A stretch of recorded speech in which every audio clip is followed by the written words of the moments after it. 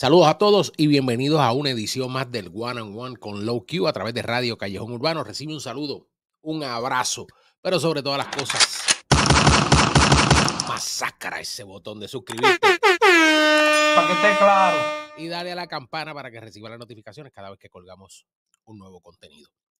Hoy en mi One on One, como ya todos habrán leído, pero hay que darle la introducción a este ministro, ya que yo le tengo un aprecio y un cariño especial.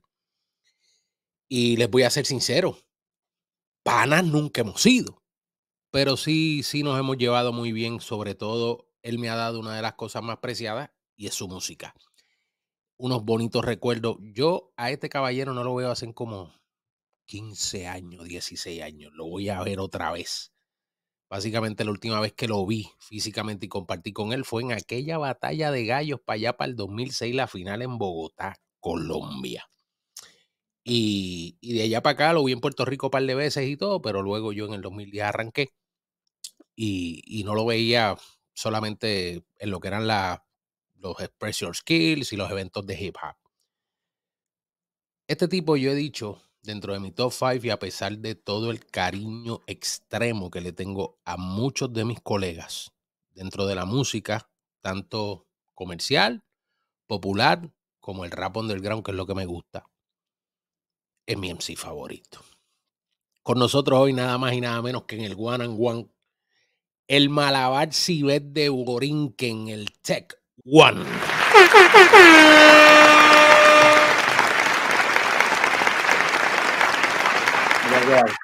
Saludos, Tech. ¿Cómo te encuentras, hermano? Coño, todo bien, gracias a Dios. Este, gracias por esa intro, papi. Te respeto. Este, todo bien, hermano. aquí más contento no podemos estar con, el release de lo que acaba de salir y, nada, gozándonos y disfrutando el momento. Este, estamos, estamos, estamos en victoria. Sí, sale esta producción discográfica y antes de entrar a ella, pues yo quiero básicamente recapitular un poco lo que es Puerto Rico, sobre todo quizás no tanto hoy día, sino como bien dije, hace 15, 16 añitos atrás, donde había un colectivo muy importante, diría yo, el relevo generacional, aunque no directamente, indirectamente, de lo que fue el Nomer Syndicate, y se llamó Vanguardia Subterránea. Un colectivo quizás un poco más ecléctico, más cerrado, pero era un colectivo que ciertamente clavó unas raíces de rap y de hip hop en Puerto Rico bien duras. ¿Cómo te sientes tú luego, obviamente ya formado una familia, hombre de trabajo, quizás lejos, igual que yo, en la diáspora de nuestro amado Puerto Rico? Eh, de, lo, de lo que ha sido o lo que es el mito de la vanguardia versus el rap de hoy y lo que se hace hoy como escena en Puerto Rico? Bueno, eh, lo, que, lo que fue vanguardia subterránea, como tú bien dices, este, surgió en esa época, ¿verdad? Que tuvo primero, obviamente, eh, el Number Syndicate, que fueron los primeros en establecer eh, la diferencia, ¿verdad? De lo que estaba pasando con la gente que en ese momento, pues, quizás estaba un poco confuso con lo que era ser rapero, ser lo que es hip hop y ser lo que es lo otro. Y entonces, nada, ellos sentaron ese precedente y eso es algo, you know, que eso es, eso es de respeto. Eh, y eso influyó a todos, pienso yo, a todos los que vinieron después del Number Syndicate, a, a decir, coño,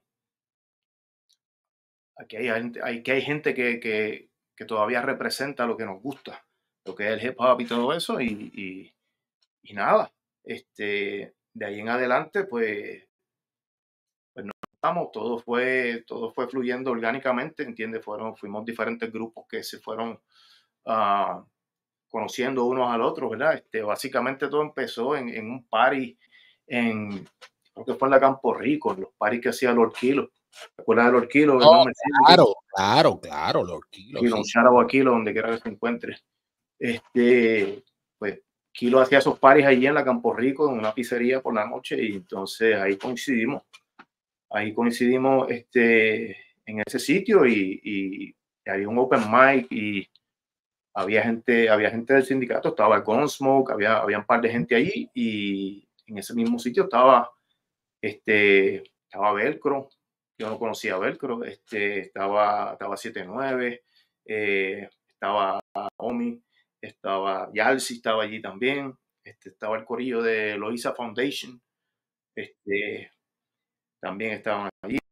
muchas personas coincidimos allí en ese open mic, todo el mundo le metió y creo que cuando se acabó el open mic, eh, ya esta historia pues creo que la han escuchado afuera, cuando se acabó el party pues se, formó un cipher, ¿entiendes? Y ahí empezamos a meterle y qué sé yo ni qué y, ahí fuimos conociéndonos uno al otro, decimos, ok, ah, fulano, ah, tan. Entonces yo conocí a Omi, Omi no a, no a Santiago, era mi pana fuera de, de, ese círculo. Este, cuando trabajaba en la tienda Specs en Santa Rosa, cuando se vendían CD y todo eso. claro, sí, sí, había en Santa Rosa y una en Plaza de las Américas. Y entonces, pues él ya conocía a Yalsi, él ya conocía a, los demás muchachos, y entonces, pues ahí conectamos, ahí conectamos, y, y, por ahí, como quien dice, empezó la, empezó la cosa. Empezó algo serio, porque ustedes, sobre todas las cosas, eran, y lo digo honestamente, son unos tipos devotos al rap, devotos al hip hop, devotos a la cultura y extremadamente arrogantes, pero tenían por qué ser arrogantes, porque los tipos eran duros. O sea, eran, unos tipos que eran autogestores, estos tipos tuvieron programas de radio, eran DJ, tornamesistas, no DJ, no solo que blendea un ritmito aquí y un ritmito allá, no, tornamesistas, digueadores de ritmo, hacían su ritmo, hacían su mixtape, y honestamente, había de todo. Por lo regular que ahí siempre se decía que, que los paris de rap eran de machos nada más, pero estos tipos llevaban hasta mujeres, o sea. Sobre todo ese, combo de la Universidad de Puerto Rico no fallaba, ese combo de Río Piedra, el 8 de Blanco, toda esa gente, esa gente iban a Café Seda, Enlaces Café, al New Yorican. Y de verdad que se formaba y se pasaba bien chévere, bien chévere, bien chévere, bien chévere definitivo. Y, no, no puedo dejar fuera mencionar también a, a Flow, ¿entiendes? en, en, el viejo San Juan cuando, cuando él, él, era el que empezó a hacer todos esos parties, organizar todos los parties, eso era invento de EA Flow. Y entonces también estaba Matt Stilo. Nature, ciencia ficción, Matt Stilo. Ya. Este, estaba Matt Stilo también. Este, habían hasta grafiteros también, este, el Mero y Largo eran unos grafiteros que también este, colaboraban, que no lo creas. Y no, no quiero decir que directamente de vanguardia era también los Floor Rockers, pero donde, donde quiera que estábamos siempre le, le, llegaba el corrido de, de, los Floor Rockers. Um, sí, fue una, fue una época súper, súper, súper nice. Fue bien bonito, fue bien bonito. De hecho, tú salías de los pares incluso hasta Ismo Tú salías de los paris de enlace y por ahí entonces tú veías las, las cafeteras por todos lados, las tostadoras, las tostadoras de Ismo. O sea, fue una época que, marcó cada, cada personaje dentro del hip hop que había en ese momento. Yo creo que, que Vanguardia se encargó por lo menos de, de sentar ese precedente bien importante. Ustedes trajeron unos elementos a la cultura y sobre todo a Puerto Rico bien sabroso de lo que fue el mixtape sobre todo tu y Velcro con esas series de la perfecta. O sea, de verdad que hubo, y todo eso está en YouTube, oigan, ustedes pueden buscar por YouTube que por ahí está todo eso, por ahí hay hasta un disco de tech que yo diría que, ¿cómo es que se llama eso? Un, qué sé yo, no autorizado, ¿no? The Best of Tech One. Alguien, alguien hizo la diligencia y juntó todas las canciones mías, las subieron y, y, eso de repente, pues lo único que había por ahí, y The Best of Tech One, creo que se llama creo que fue Blacky, creo que fue Blacky, este, este, de Levitown. Un saludo a Blacky, donde quiera se encuentre, el productor también, hacía sus beats también. Y, creo que él fue el que se tomó la iniciativa. Y yo, eh, no hay problema, de, de, mi gorillo de Levitown, tú sabes. Y Era lo, lo, lo único que había por ahí y eso es lo que hay.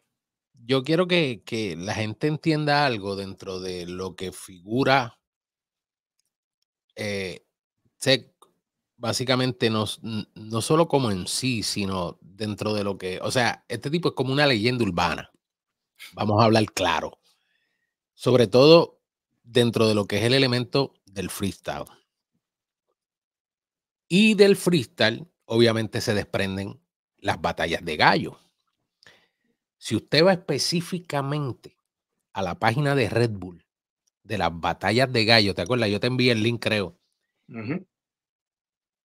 Hay un capítulo específico donde y cómo se origina la historia de las batallas de gallos de Red Bull. Y si mal no recuerdo, fue por Diego Montenegro, creo que era que se llamaba, el que dirigía la división del Caribe de la Red Bull, tanto República Dominicana, Puerto Rico y demás. Y yo lo conocí a través de Alex Rex J después de la primera batalla de, no, en la misma primera batalla de Gallo, en la que ganó Frescolate. Y, y de ahí surge la historia, porque él incluso ese día la estaba contando y yo nunca la había escuchado, pero Red Bull la dejó plasmada en la biografía de las batallas de Red Bull. Y es que lo que ustedes conocen a lo largo de los años como las batallas de Red Bull, en comienzo las batallas de gallos y todo, se dio por ese caballero, ya que ese caballero se presenció un día y logró interesante un cipher en una de las noches que obviamente la vanguardia tenía café seda, enlaces café, este, al lado de Laser. Y fue porque Tech estaba improvisando. Y le llamó la atención y lo dice así mismo la biografía, pueden corroborarla, está en línea. Yo me cercioré de que todavía estuviera en línea.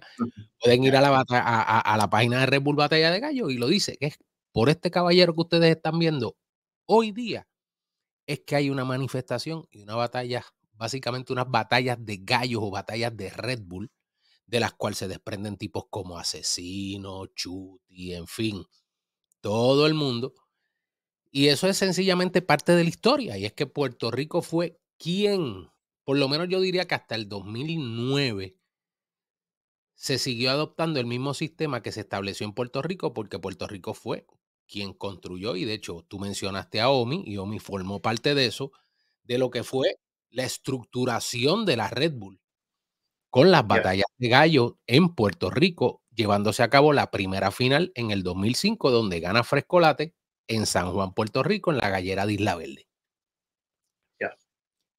¿Cómo, te, ¿Cómo te sientes tú al pasar tantos años, todos esos momentos, sobre todo esos comienzos de la Red Bull y de las batallas de gallo, que te llevó a una final a Bogotá?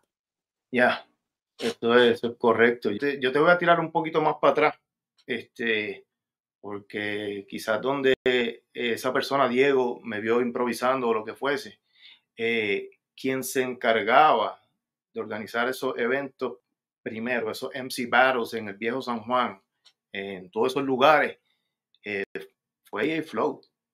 Y el Flow era el que tenía los eventos, se llamaban Yo Mama, se llamaba el evento. Yo no tengo el flyer, tengo un flyer por ahí de, del año 2000. Estamos hablando del año 2000. Red Bull creo que vino eh, a prestar atención, a 2005, 2006. Ya para el 2000, y yo diría un, poco antes, este, y ahí Flow estaba, estaba organizando esos eventos con The Nature en lugares como Rumba, este, en el viejo San Juan, en cuanto a diferentes pop que había por ahí. Y si te fijas, pues entonces del 2000 al 2006, pues va a tiempo. O sea, 2005 eh, son un par de años. So, de ahí es donde yo te puedo decir que, que surge esa idea, donde la vieron en el viejo San Juan. Quizás habían batallas, obviamente, eh, en otros lados, porque eso no era el sitio, el único sitio donde yo batallé. Yo batallé en, eh, por Manuel Pérez, batallamos en, en lo que era de Riff, allí por, eh, por Isla. Piñones, entrando para Piñones, para allá. Búhos Café, este, allí también se, se, hacían batallas. Este, habían un montón de sitios, había un montón de sitios antes de que, de que pasara esto de, de la Red Bull en el, en el 2005, tú me sigues.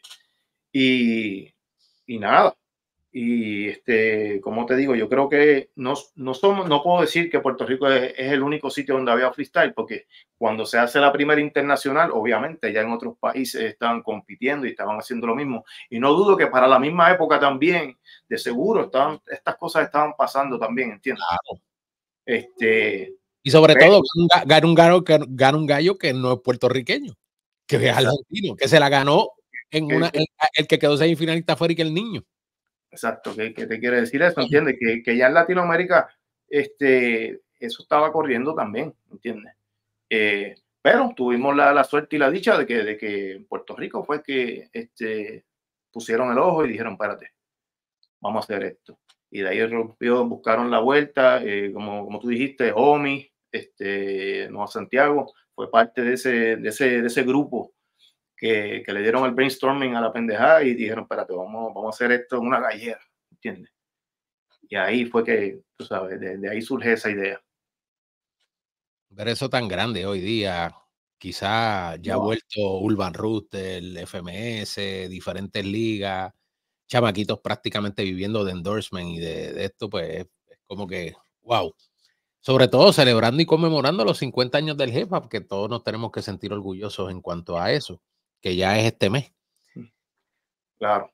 No, de verdad, eh, ahora mismo eso es una industria. Es una industria gigantesca y, y, y, es el sueño de muchos chamaquitos, de muchos chamacos en Latinoamérica, en donde sea habla hispana. Yo, yo no creo que Red Bull, obviamente, tiene ese mismo evento en inglés, si te fijas. Yo no, no, no eso, ¿entiendes? Y es un evento que cuando van las finales, pues yo creo que llegan al millón de streaming la gente, ¿sabes? La gente pegada viendo eso y la, evolución ha sido brutal, brutal. De verdad que, es un monstruo que, que, no tiene, no, no va a tener freno, ¿entiendes? De ahí podemos brincar a la cumbre de Venezuela. Tú eres otra de las personas que, prácticamente junto a, diría yo, estuvo Luis Díaz, eh, tú creo que Nofset también fue. No sé si Tito fue, ya él sí estuvo también. En el año que yo fui, ya él sí no estuvo. Ok. ¿Cómo, ¿cómo, percibiste tú y sobre todo ese intercambio cultural en ese momento entre, entre Venezuela y Puerto Rico? Y, y tú no fuiste a rapear, pero de momento cuenta la historia de que, bueno, te tocó cerrar. Sí, eh, como tú bien dices, no se supone que yo estuviera allí, se supone que estuviera allá, sí, porque el invitado era, era Intifada, era Luis Díaz. Y entonces, pero ya sí, en ese momento pues no, no, no pudo ir.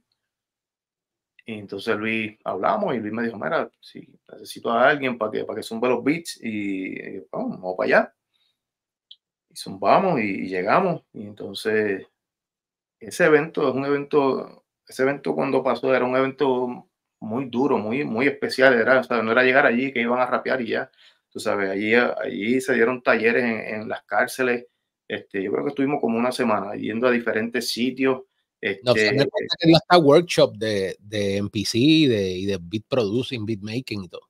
habían tantas actividades que yo me perdí un montón de actividades. Había, habían, este, habían unos paneles de discusión, este, y en esa, en esa cumbre, pues ahí, ahí conocimos, ahí conocí a, Boca Floja, sí, México. de México, había gente de Argentina, Manu, este, seguro si era videógrafo, también estaba allí, estaba un representante hasta del grupo Dead Press, okay. Eh, también estaba ahí, eh, estaba Babito García, este, leyenda de lo que es eh, Stretch Armstrong y, El show de ellos, ahí, ahí surgió, ahí fue que nació Wutan Clan, gracias a ese show. So, Babiro estaba allí y Babiro estaba haciendo lo de él, porque lo de él es, es y jugar básquet. So, él fue para allá a jugar básquet en cuanta cancha había y se curó, se curó y a la misma vez tocó con, donde... De hecho, él llegó a patrocinar hasta la cancha de la Perla en un momento dado y cuando ah, salió el, el, creo que el juego de Anguan también. Sí, Él, que lo musicalizaba y todo. Y... No, exacto, era narrador de, de, de, ese juego.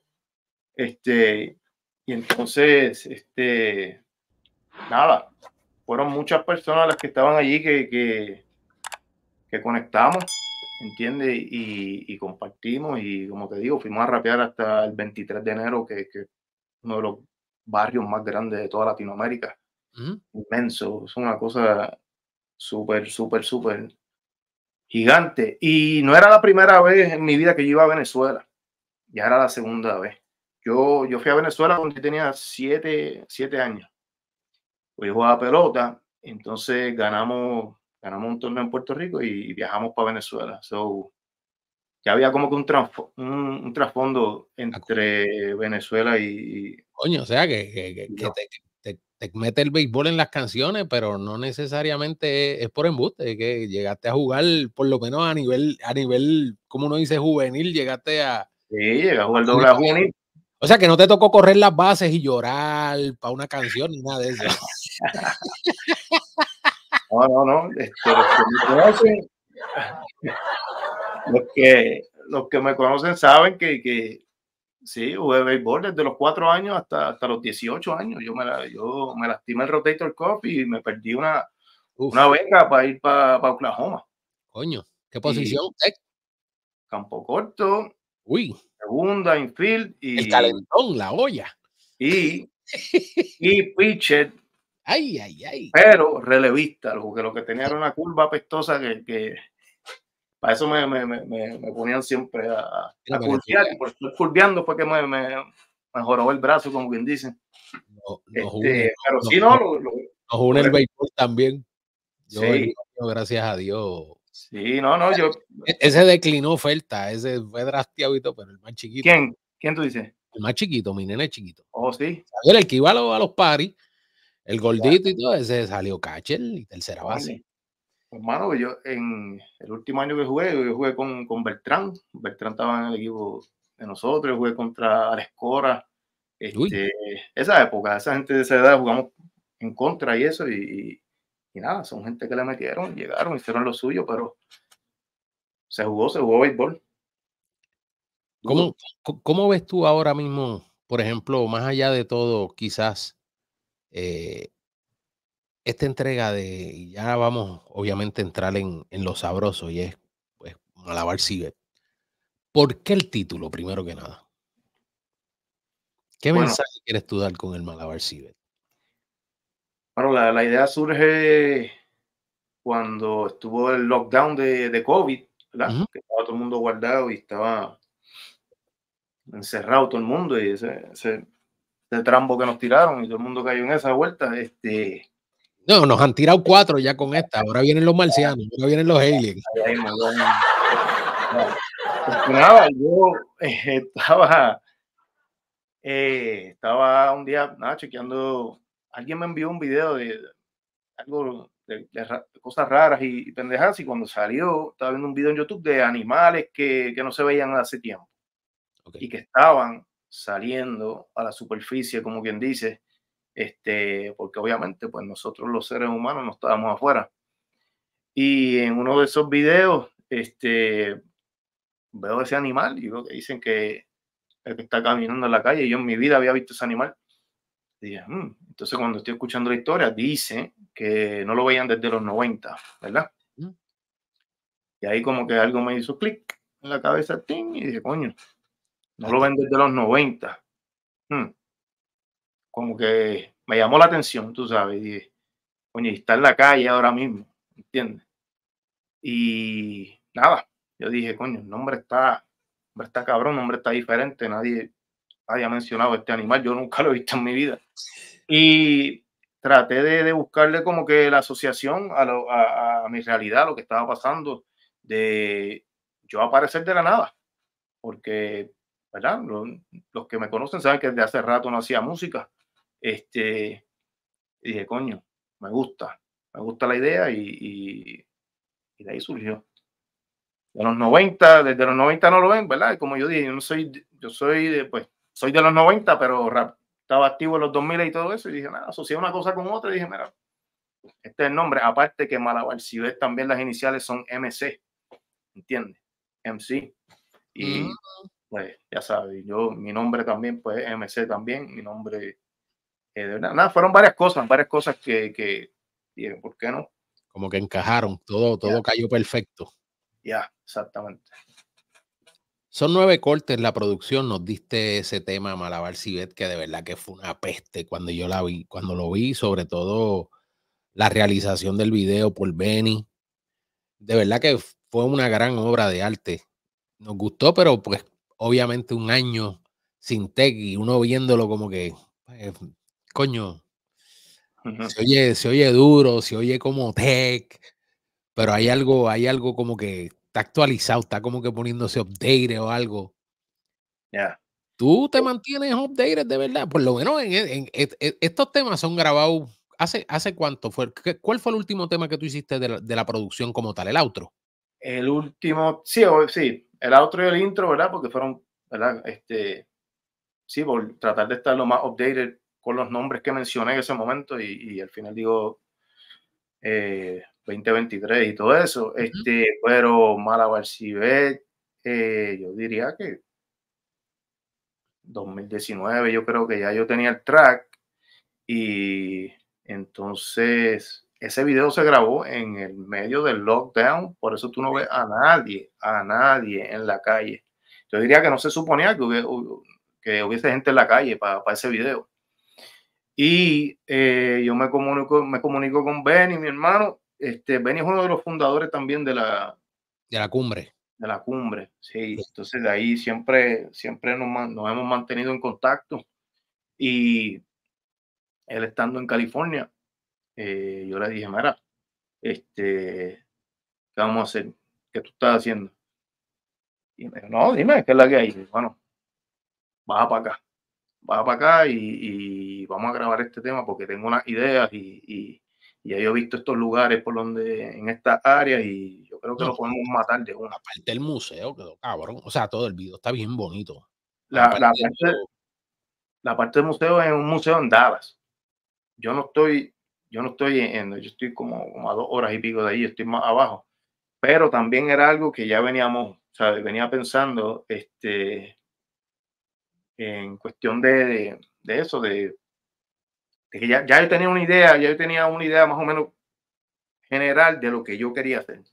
Eh, desde el principio con el intro y toda la vuelta y desde, desde lo que me iba a poner y, y, si te fijas en hasta en la carátula, si te fijas que es parte del video, si yo estoy parado en frente a un sitio que dice My Laundry, ¿verdad?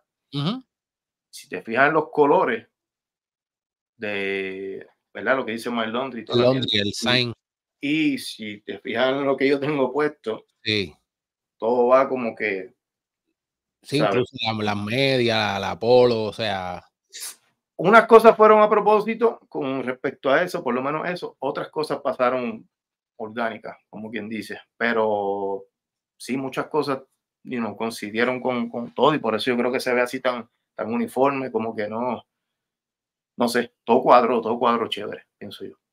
Algo que siempre me, está gracioso y curioso es eh, esas letras y ese símbolo de estéreo que utilizaba, pues obviamente el Atico con la Fania, todos estos discos clásicos, tú sabes. Que, Y sobre todo también los mixtapes de ustedes, que siempre eran, qué sé yo, los compadres, más o menos la foto de, lo que es eh, Pacheco, Peter Conde, más o menos esa esencia. Esa, eh, esa, fue la, la, serie que hicimos con, con, mi hermano Velcro.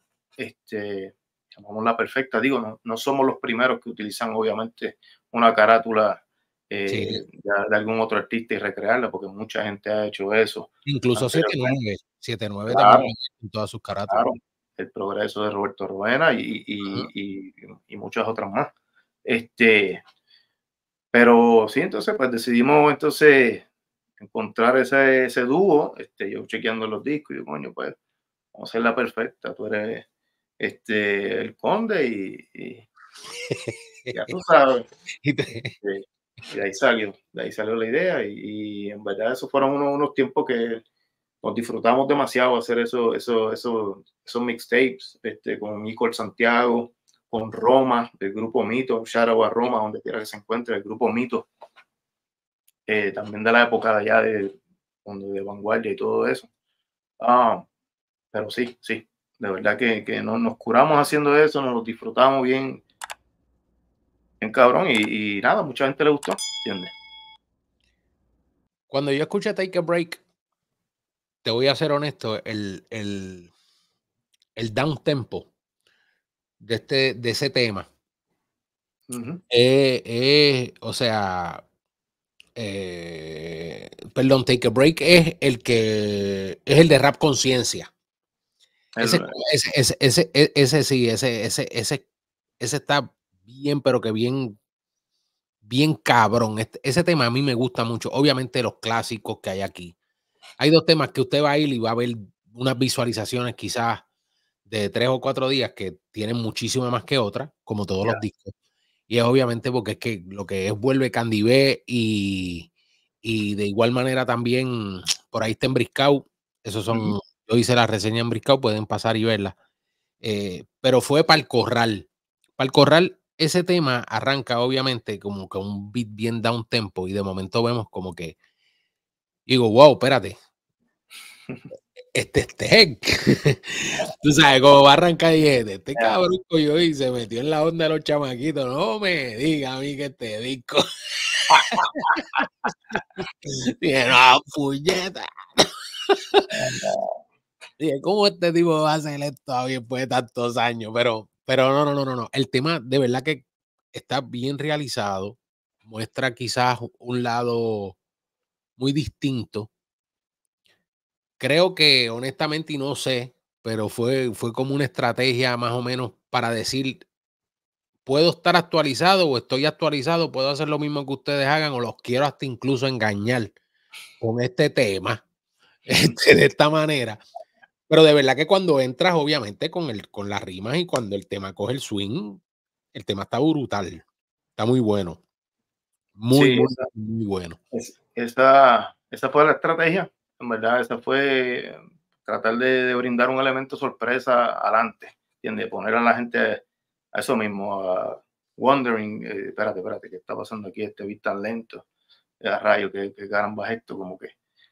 Y, y empiezo el coro también como que bien lento, eh, pero cuando viene el verso, pues entonces pues apretamos para que, pues por si acaso, para que mucha gente está esperando siempre lo, lo, clásico de uno, ¿verdad? Y, y, pero nada, si se trata de eso también, hay que meterle así, así podemos también cachar el oído de, de los chamacos nuevos, ¿entiendes? Que vienen, su, vienen subiendo, no vayan a pensar que todo tiene que ser rap ahí con cierto flow, tú sabes. Sí, bien convencional o... nada de eso. Este, y eso yo, encontré, yo, encontré, fíjate, a pesar de que no sé honestamente si, si, si fue eh, expresamente de esa manera, pero como sale Malabar Sibet primero el tema, que da pie obviamente como homólogo al título de la producción, eh, y entonces entra este tema de, de pues, para el corral.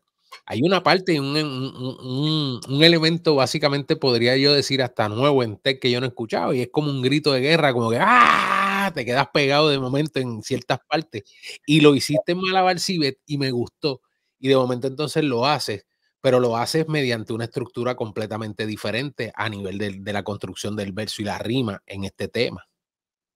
Ya. Eso, eso yo lo encontré como que, como que una línea, como que hay, hay algo ahí.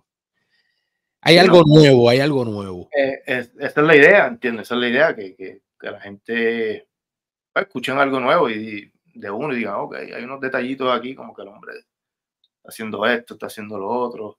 Este, y eso, salir, salir de, de, lo clásico, de lo que ya están esperando y, nada, mano. Eso, se trata de, de evolucionar um, para que no, quedarse uno en la, la monotonía, ¿tú me entiendes? Ya luego, obviamente, otro tema que, que, que los recomiendo muchísimo, sobre todo para que la gente quizás, y, y voy a hacer lo más respetuoso posible en este aspecto con el público, con la audiencia que vea esto. Pero para la gente que vivimos, sobre todo esa época de los early 2000 en Puerto Rico, sobre todo en lo que fue la escena del rap, pues obviamente estamos bien enfiebrados de, de, de, este tipo y de todo el colectivo, por lo menos los que lo seguíamos. Y, y sabemos mucho, sobre todo, el grado de conciencia a nivel político que nos ha brindado gente como 79, obviamente Luis Díaz, Intifada, en todas sus producciones. Y verte traer quizás esto a cargo tú a tu conciencia, pues fue como que, que nosotros obviamente conocemos tu trabajo y te conocemos en esa área también, porque lo has hecho ya anteriormente, incluso colaborando con ellos en otros temas. Pero ya un tema tuyo per se, sobre todo estar tan al día y mezclar tu esencia. Eso fue lo que a mí me gustó de este tema.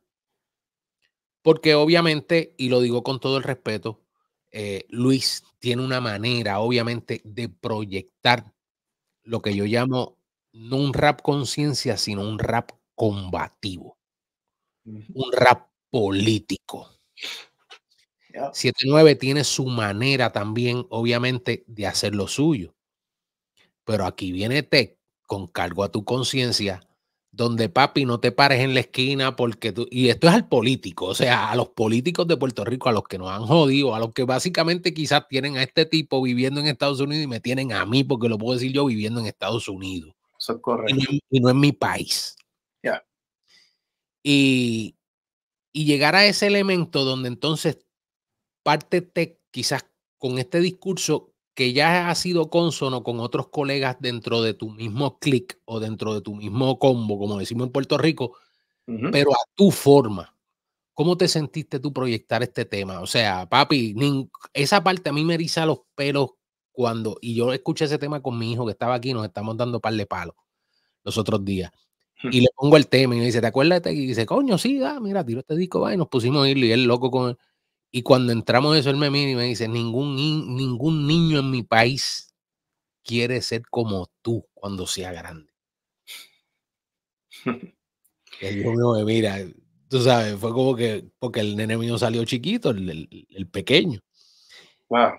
¿Cómo, ¿Cómo, fue hacer o, o, o básicamente entrar ya de lleno a nivel de producción y sobre todo con Yalsi, que Yalsi es Miren, Yalsi es una jodienda, mano. Yalsi es el tipo, para uno trabajar con ese tipo, hasta para una entrevista. No, no, no, no, no, no, entrevista a Tech primero, porque yo quiero que Tech sea lo relevante, lo importante. Yo me quedo atrás, después yo vengo y ya tú sabes, pero llama a Tech, llama ya, hazlo con Tech. No, pero te quiero tener a ti con él. No, no, no, no, no, dale a Tech. O sea, y él es un tipo que hoy te puede poner un ritmo y mañana te dice, no me gusta. Hoy te hace el mejor ritmo del mundo y mañana te dice, no me gusta ese ritmo. ¿Cómo es esa esencia y sobre todo ese tema? Cargo a tu conciencia de hacerlo, obviamente, con un tipo también que es otro activista a nivel político en Puerto Rico, con muchas de las causas y sobre todo parte de Intifada. Claro. Este, eh, para empezar, eh, como tú bien mencionas, venimos de, de ese corillo, este, de vanguardia, eh, lo que era conciencia poética, Este, Luis, Freddy, Yalsi, Omi al principio también. Cuando conectamos, este, el estilo que yo traía eh, era el estilo de Overdose con J. Mo, ¿entiendes? Pues Mo en ese party también. Y cuando coincidimos y eso, este, obviamente estuvimos tantos años haciendo, haciendo shows y, y pendejadas, ¿sabes? Cada cual, el que tenía un party, el eh, Funano tenía un party, ahí estaba todo el corillo, ¿entiendes? El Funano del otro tiene, siempre estábamos ahí. obviamente, la influencia, ¿verdad? Este, cuando yo empecé a escuchar conciencia poética, yo dije, anda, por carajo. Este, esto me sonaba como. Como Rubén Blades, ¿entiendes? Como, como, espérate, espérate, este, este es otro window, tú me entiendes. Yo he aprendido más de, clase de historia, honestamente, de Puerto Rico con el maestro Luis Díaz. Y yo creo que hay mucha gente que se identifica con eso. Luis Díaz es una maestría de arriba abajo, desde el disco primero hasta el disco, hasta, hasta, el último, ¿entiendes? maestro, obviamente, es maestro de historia. Ah, entonces, 7-9 pues tiene su, su manera también con, con, con, su sazón de decir las cosas también. Y, y hasta Yalsi rapeaba también antes. Eh, porque ellos estaban, siempre han sido también personas activistas reales, ¿entiendes? Lo que, lo que es Luis y, Yalsi, esa gente estaban parados al frente de cuando la telefónica, eh, para aquella época, para, para el final de los 90 y todo eso, ¿sabes? No, era, no eran cuentos, ¿sabes? Eran activistas eh, de verdad. Y entonces, nada, de ahí, de ahí en adelante, pues siempre me llamó la atención, siempre me llamó la atención porque eran temas que, que no se tocaban, raperos, o sea, así eran pocos quizás las personas que estaban rapeando algo, eh, algo con conciencia, con, con, un mensaje específico y, y de ahí viene la, la, la, vena, de ahí, aparte de que pues también para, ya para, para, para el disco de Overdose que estábamos haciendo, yo también ya tenía, tenía un, un tema que hablaba del maltrato, y hablado de unas cosas específicas. Después, cuando me juntó con, con, con Freddy y todo eso, surgen las la ideas de, de, lo que era el tema de CREA. Exacto, eh, sí, sí, sí, ese tema fue duro, muy bueno. Este, y de ahí sur, surgieron, ¿sabes? Y de ahí se, se desarrollaron muchas más cosas. Y nada, siempre ha sido parte de mí, o sea, siempre ha sido parte de mí. Yo hice un tema con, con cultura profética que se llama Despojo también, Uh -huh. Es un tema que quizás no es lo, lo, normalmente que esperan de Tech. Estoy hablando, qué sé yo, de la vida. La canción se llama Despojo y, y que tiene un mensaje.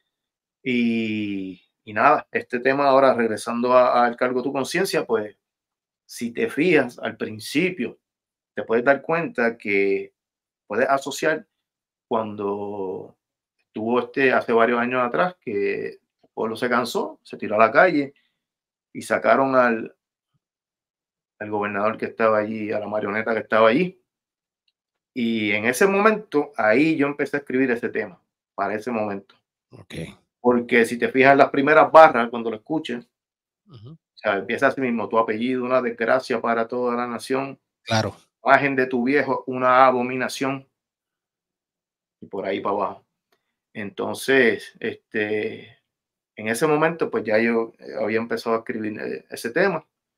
Y, y, nada, de ahí surgió esta idea, se me, se me ocurrió este, una idea que siempre he tenido en la cabeza, ¿verdad? No es que uno quiere promover, promover este, la violencia, ¿verdad? Pero eh, muchas veces uno se pregunta, coño, ¿por qué la gente se sigue matando en la calle por ir para abajo, ¿verdad? Porque pues la calle es la calle y, y eso pues es otro mundo, pero si tuviéramos la habilidad como que darle zoom out a la pendejada y mirar desde lejos y decir, coño, nosotros aquí abajo, la gente que están, no digo nosotros, ¿verdad? La gente que está en los barrios, en los caseríos, eh, en todo esto, nos han, lo han seteado, ¿entiendes? Han creado unas circunstancias y, una, y unas cosas que han llevado a la gente a, a, tomar las decisiones que hayan, que, tomar, que hayan tenido que tomar para, para sobrevivir. Y nada, no sé, la gente de la calle a la calle se sigue matando ellos mismos y desde arriba, los que están arriba, siguen chilling como si nada, ¿entiendes? Yo no estoy diciendo que hay que hacer eso. Por tal razón, yo hice el tema de una manera que es simplemente la pesadilla de un político. Y él se levanta al final, como que anda por el carajo, diablo. Si algún día esto pasa, ¿sabes? Como, como cuando el pueblo se puso, sí. movieron, movieron al que tenía que mover.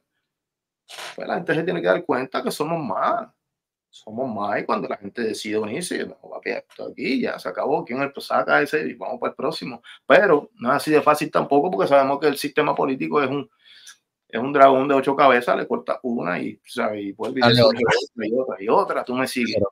Que no es solo eso, no es quitarlo ya, bien, te pon, pon al otro, porque hay unas estructuras, hay unas cosas, ¿verdad? Que, que, que hay que trabajar desde adentro, pero entiendo que como quiera hay mucha gente activa haciendo, haciendo su, su, su su autodiligencia y su autogestión. Yo creo que después de, del huracán María la gente se dio cuenta que, que, que, que, el pueblo es el que ayuda al pueblo.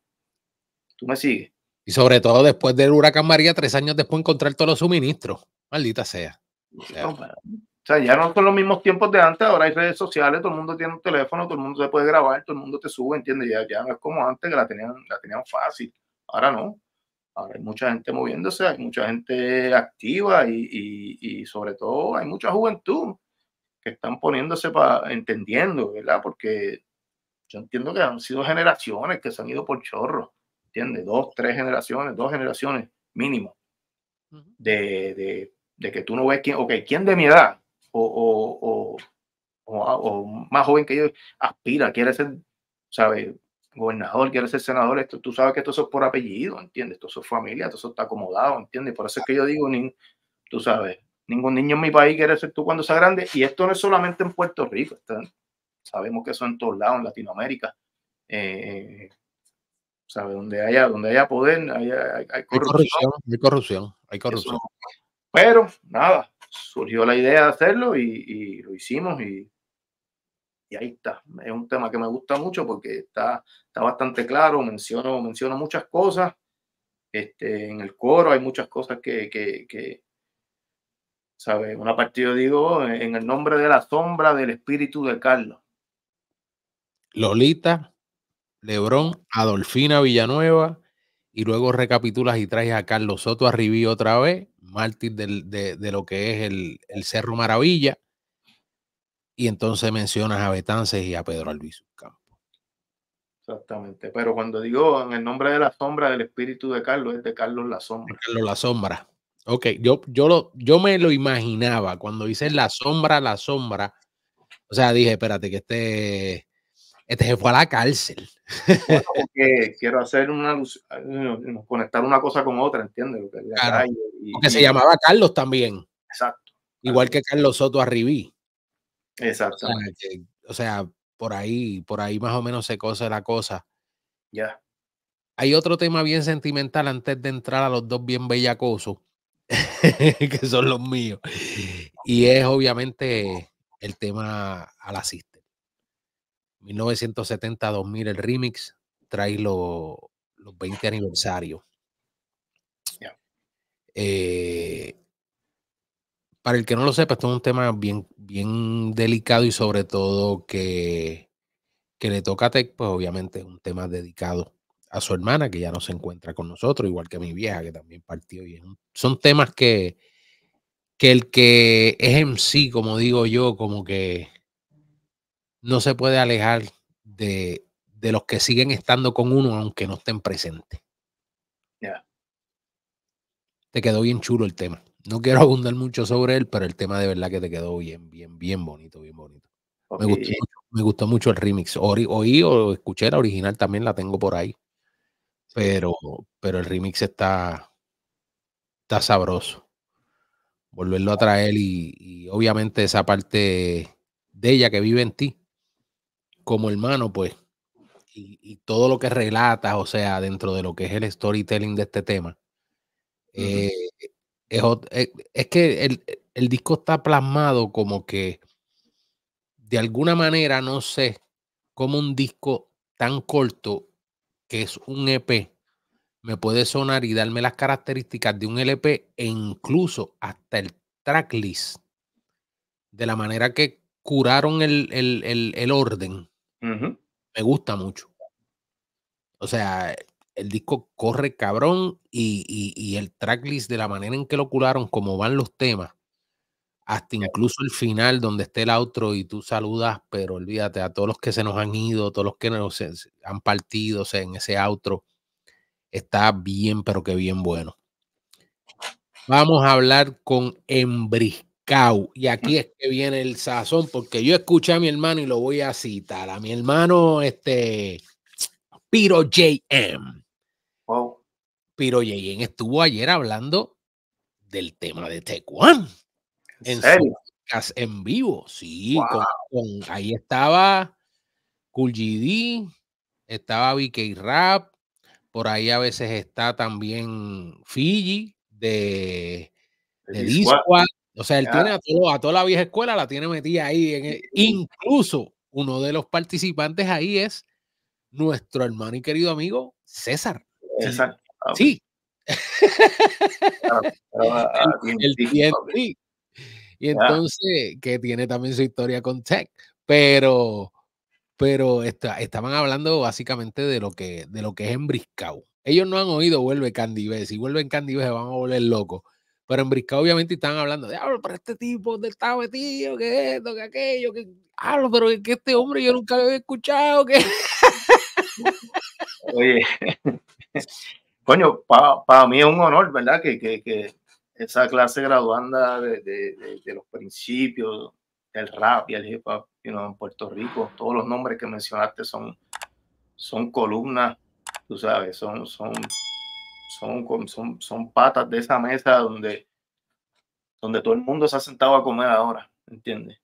Este, todos esos nombres, este, Piro, este, todos, todos los que mencionaste, Piro y um, yo les tengo un respeto increíble porque yo, yo crecí con ellos, ¿sabes? Yo no, no vengo de los 90, vengo un poquito antes, ¿entiendes? Porque yo desde chamaquito escuchaba a, todo, a toda esa gente, por, porque yo tengo un, tengo un hermano mayor, ¿verdad? Que me lleva cinco años, cinco años y, y él siempre estaba eh, envuelto en todo eso. Y, y nada, eh, lo que era Discord, yo soy de Levitown, Discord creo que entiendo que eran de tu Baja. este, y nada, brother, para mí es un honor, ¿verdad? Me, me acabo de una, una, buena noticia de que, de que por fin, eh, nada, están escuchando de mí eh, esas leyendas y, y, estén, se lo estén vacilando, tú me sigues. ¿Verdad que sí? En, en Briscoe tiene demasiado, de, igual que Vuelve Candibé, es que Vuelve Candibé te da la emoción desde que arranca la carrera o sea, va paso por paso y obviamente al principio sí, ganó esa carrera, pero entonces después vuelve y cuando mencionan a Feliciano el jockey, y o sea, es, tú, vas en esa carrera y tú vas montado y tú vas escuchando esa canción, o sea, de verdad que te da un feeling, sobre todo para los que jugábamos nuestras quinielitas, nuestros cuadros, papi, yo era hípico, hípico, hípico. so, so, fue una grata de verdad que escuchar el tema y, seguirlo escuchando sobre todo, pero en Briscao, igual que ese, pero en Briscao, tú vas, papi, de aquí para allá, entre el béisbol, el boxeo, eh, en fin, el deporte, la música, o sea, la salsa. ¿Cómo? Hay, hay, hay, hay referencias por ahí para abajo. Para, demasiado, demasiado, demasiado. Desde Coto a Pacquiao, eh, tú tienes a Freddy Roach, eh, o sea, Maniciaca. Yeah. O sea, pues, mano, ese, ese, tema, ese tema está, lleva tiempo escrito también. Lleva, lleva su tiempito también, lleva su tiempito también. Este, cuando ya él sí zumbó, me zumbó ese beat, este, ya yo dije, ah, espérate. Él usa unos drums que eh, lo mencioné anteriormente, este, unos drums que, que, mucha gente ha utilizado, mucha gente ha, ha utilizado esos drums. Y a, a, mí no me gusta eh, eh, usar samples o cosas que ya, ya hayan quemado, específicamente esos drums que son de, este, que lo han hecho en 10.000 canciones, pero no es lo mismo de la manera que él lo chopió, de la manera que él lo tío, de una manera que es odio.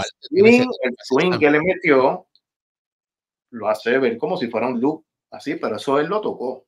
Él tocó esos drums, ¿entiendes? Él chopió todo, pa, pa, pa, pa. Y, y eso es algo que, que es lo primero que yo busco en un beat. Zumba un beat. Y si los drums no, no están funky, no están head knocking, tú sabes, no están, no tienen ese soul, pues eh, pero cuando, cuando, cuando el beat tiene los drums así, eh, espérate un momento. Entonces, de la forma que el picoteó los samples y que se iban y que, eh, ok, está bien, pues por aquí nos vamos. Entonces, esto es, hay que zumbar por ahí para abajo. Y nada, y él hizo los cortes también de los escrachaditos. Fue no hay un coro, si te fijas, es más que una frase. No, una frase nada más. Y pues así mismo yo, yo lo vi. Entonces, me, como estoy tirando este letra por ahí para abajo, como quien dice, pues nada, también se me ocurre por la idea de que bueno, más bien como si fuera un cipher, ¿entiendes? Como que y por eso surge la idea al principio de como si estamos si estoy llegando a, un cipher. Sí, eso, eso fue lo que yo... Espérate, espérate, dame un break, dame un break, deja, que el hombre le meta, y ahí rompe, ¿entiendes? Y entonces, y el segundo verso, pues por ahí para abajo, 30-30 de Casiano, Palmieri en el piano, parte baja la novena No, 30-30, para que no entienda, pues 30-30 es escopeta. Pues tú eres una escopeta. Si tú vas jugando básquet en la calle y tú las tiras todas, tú eres una escopeta. ¿Y quién, quién las tiraba todas y las metía todas? Edicaciano. Edicaciano. donde quiera que se encuentre, la bestia. Este, 30-30 dedicaciones. No, mano, nos podemos sentar a, a, a, a sacar barra por barra. y... todo, barra por barra, todo tiene un enlace, una cosa con lo otro. Todo, todo está interconectado. De hecho, esa es la función y la labor del MC. Pero, pero muchos no, o sea, y es, y es lo que quizás mucha gente, y lo digo honestamente, mucha gente no le van a llegar porque hay demasiado de mucho palabreo criollo. Hay sí, sí. demasiado no, de palabreo criollo. Y yo estoy bien consciente de eso, yo estoy bien consciente de eso porque esta época ahora sí del internet donde todo se, se, riega, pues quizás mucha gente en otros países obviamente no va a entender. Este, pero, tú tienes, un tienes que mandarle un saludo eh, a Javi, porque él se va a mear cuando ve esta entrevista. Él es, de, Chile, así que le envío un saludito a Javi. Un saludo a Javi, entonces, de parte de uno. Papi, bueno, por lo menos en el YouTube pueden chequear la descripción y ahí yo puse la letra. Por lo menos. Este, eh, estamos bregando ponerle los subtítulos también a algunos de los tracks. Ya el de Malabar Cibet tiene, tiene los subtítulos también. Y ese tiene subtítulos. Ese lo, lo, vamos a poner para que la gente pues lea y entienda. Entonces, lo cómico es que estoy hablando con Jalsi y, y, ¿verdad? Hay, cosas que, que, tienen que salir en, en cierto momento, ¿verdad? Las cosas tienen que pasar cuando tienen que pasar. Porque nosotros pensando quizás tres años atrás soltar este proyecto quizás no iba a ser el mismo impacto que quizás ha tenido ahora, ¿entiendes? Ahora yo creo que la gente pues está un poco más abierta a, escuchar letras, eh, de que ahora todo el mundo puede, todo el mundo ahora habla de punchline, todo el mundo habla de barras y todo el mundo habla de muchos términos, eh, por esto y lo otro. Eh, y pues es bueno, ¿entiendes? Es bueno porque pues, hasta los, los super influencers que hay por ahí, que tienen sus super seguidores, están hablando de esos términos y uno se, se me da la risa ¿verdad? cuando, ah, no, que barras. Duro, sí, las barras, bartender serán porque. barra de chocolate. los bartenders, los bartenders de las barras, los duros. Anyway, este. Pues nada, ahora la gente está un poco más abierta a eso, la gente está, está ok, espérate, ah, esto es un punchline, ah, esto es un, oh, esto es una metáfora, esto es esto, esto es lo otro, oh, mira. mira el escalambul, mira cómo. claro, tiene par de sílabas, está multisílabas, o sea, todas las definiciones que, que, que normal, pues, el ser humano hace normalmente, siempre le pone nombre a todo, pero ya la gente entonces le está prestando más atención a eso y, y, y creo que es algo que, que beneficia a, a, lo que estoy soltando, aunque aparte de que sea muy criollo lo que estoy diciendo, por eso entiendo yo que la, la, reacción que he tenido ¿verdad? en Puerto Rico ha sido, ha sido heavy. ¿verdad? Me, nos ha sorprendido un montón porque gente, como tú dices, gente como, como Piro, ahora mismo que me, me, estoy enterando ahora mismo, este, lo mismo que, que chamacos jóvenes, este, amistades mías que, que, que, de la escuela que hace años no hablaban, me estaban llamando y dije, wow, creo qué cosa, cosa brutal. Y, y nada, yo creo que este era, este era el momento perfecto para que, para que saliera ese disco. El, el impacto es sencillo y esta es mi opinión. Y es que un MC dedicado a conocer el trasfondo y la historia dentro del hip y sobre todo practicar su elemento para desarrollar su originalidad, hoy en día impacta más que cualquier artista popular que se van siguiendo todos. Y esa es una de las más grandes críticas, y discúlpame, que aquí voy a meter yo mi, mi, mi, mis dos chavos prietos. Pero ese es uno de los problemas que yo veo sobre todo en nuestra isla y en el rap. Y es que han surgido plataformas muy buenas para desarrollar artistas, como lo es incluso Freestyle Manía, pero lamentablemente a nivel de estilo, a nivel de tú escucharlo y sentarte a depurar todos esos MCs, desde la época de Mickey Wood, de John Setti, todos se van siguiendo, todos suenan igual. Sorry, pero es la verdad. Yo los oigo a todos y los distingo por el timbre vocal, por cómo suena su voz. pero lo que me estás dando a nivel de barras y delivery es básicamente lo mismo. Me estás cambiando la metra por la escopeta o me cambias, qué sé yo, una granada por un gran lonche, pero básicamente la misma mierda. Entonces, vamos a, este tema, que es el de Vuelve Candy B. ¿Por qué recrear una... Ajá, dime. Mala que te interrumpa, pero hablando sobre Freestyle Manía, quería mencionar algo eh, específico, que yo creo que, aparte pues, de lo que tú dices, quizás, ¿verdad? Muchos chamacos eh, obviamente imitan a, los demás porque pues, se, La clave del éxito, es lo que están viendo, es la clave del éxito. Pero entiendo que Freestyle Manía es un precedente heavy, heavy entre épocas donde estás poniendo a los chamaquitos a escribir. a tratar de, desarrollar barra y desarrollar, ¿sabes? Y pues, independientemente, ¿verdad? Que quizás tienen mucho, tengan mucho flow parecido, este, yo creo que los, los enfiebró y los puso a, a, esa generación a pensar más, tú sabes, y a, meterle un poco más.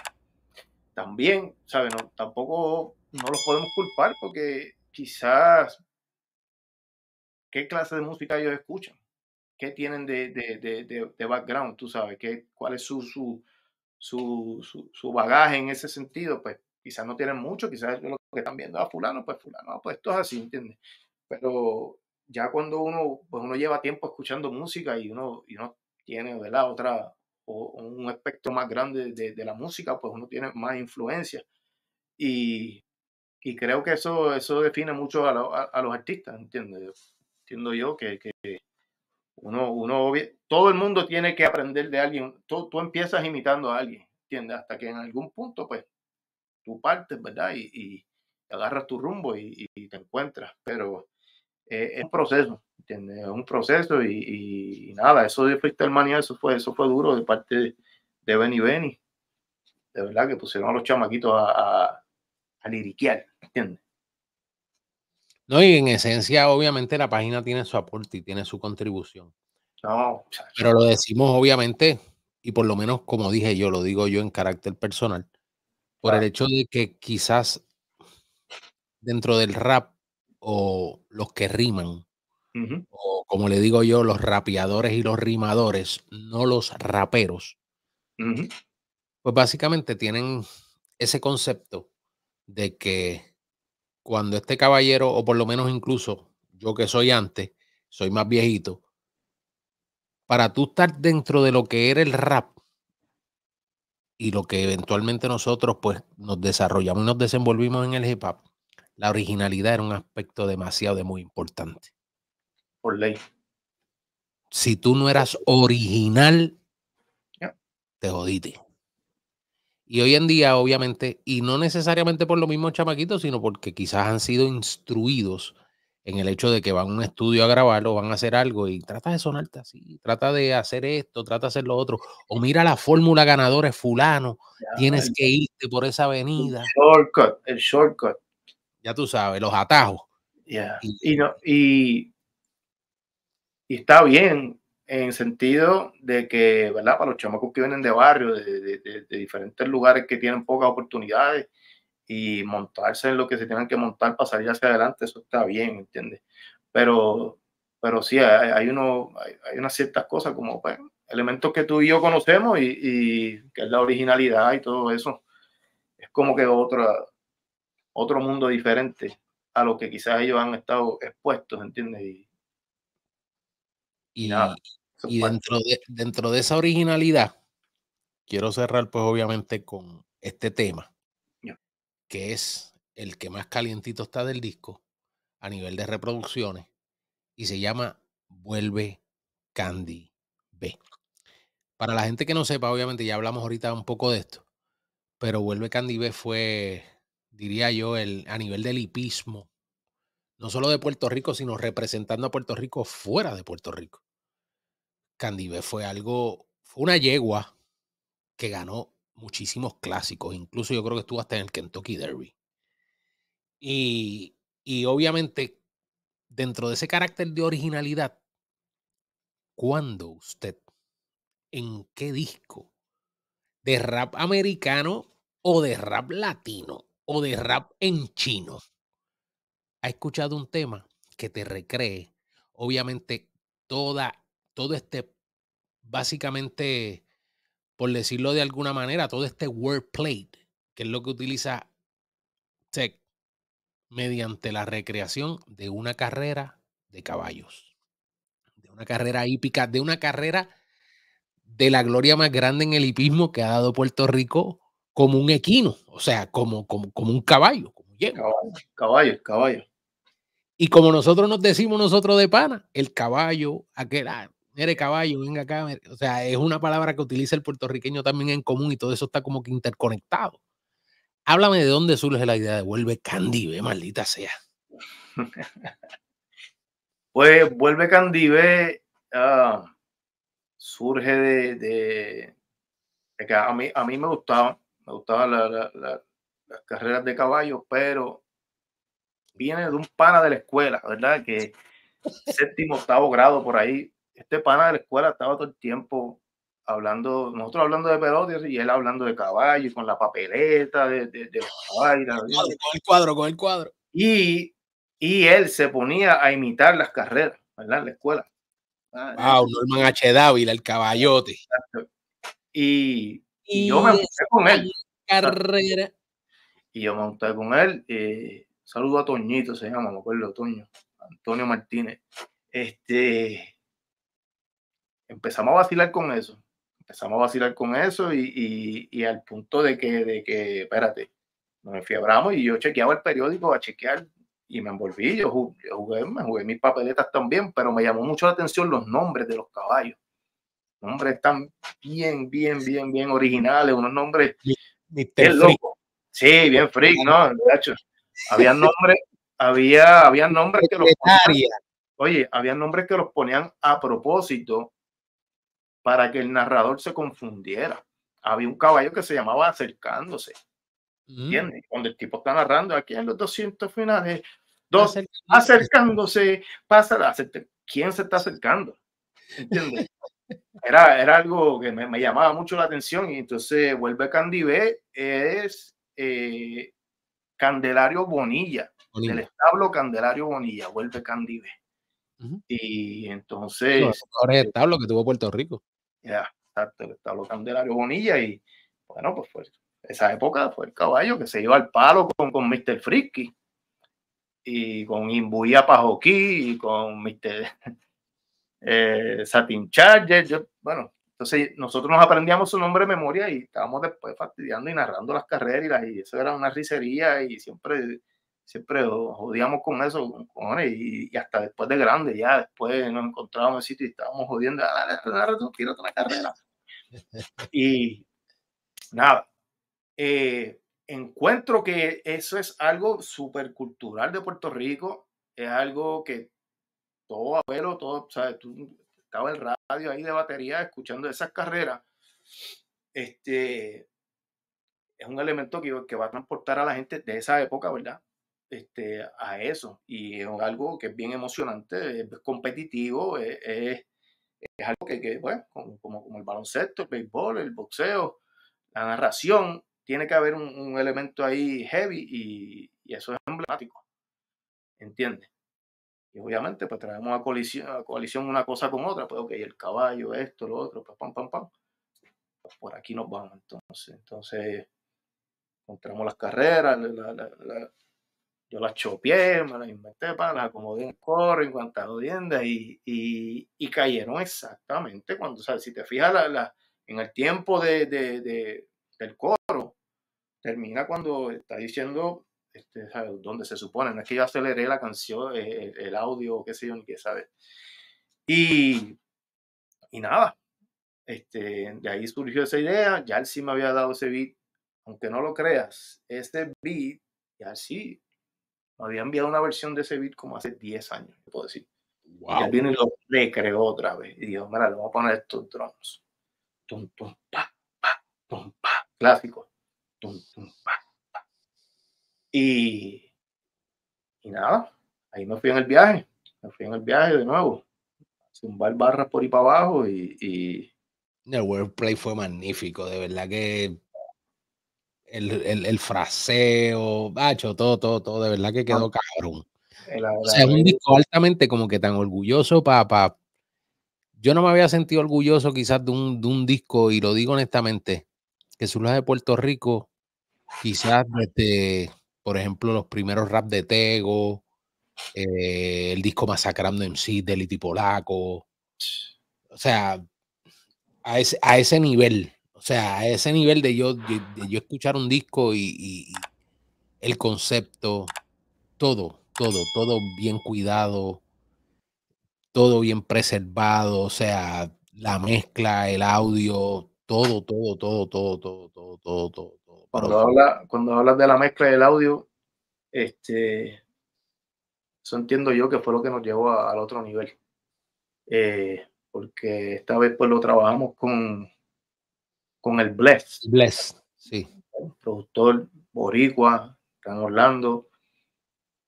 Para mí el más duro es ampliando salsa. Es el caballo. Sí, ese tipo, ese tipo, ese tipo hizo un evento, coño, que yo quedé y no pude pasar, pero él, él hace unos shows con salsa, papi, hip hop, pero durísimo. de hecho, él tiene unos discos de eso, pero sabroso.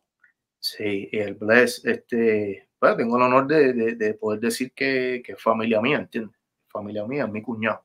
Es mi cuñado y, y, entonces él también para pues, el ingeniero de sonido, tuvo un full sale y toda la vuelta y, mm. y se puso, se puso, se puso para la vuelta con nosotros y, y hizo un trabajo brutal, brutal, porque mencioné anteriormente en otra entrevista, ya el sitio son los beats en un canal. Pa, toma, ahí la referencia. Se fue. Brega tú. En un canal, métele. En un canal.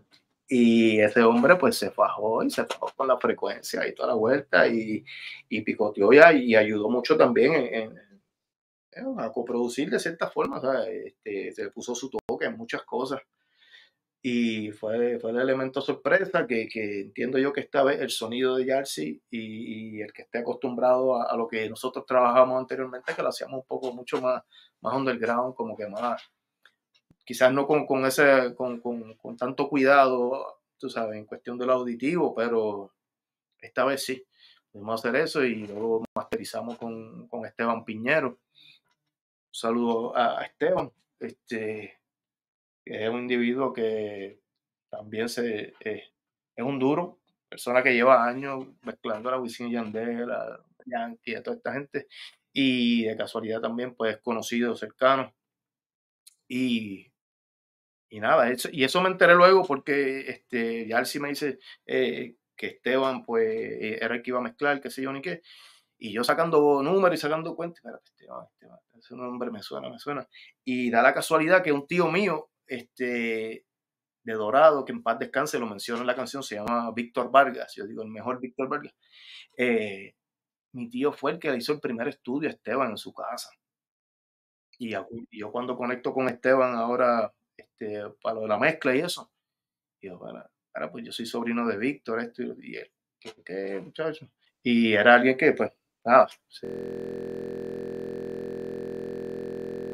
otra cosa más que se añade Claro. A, toda la magia de.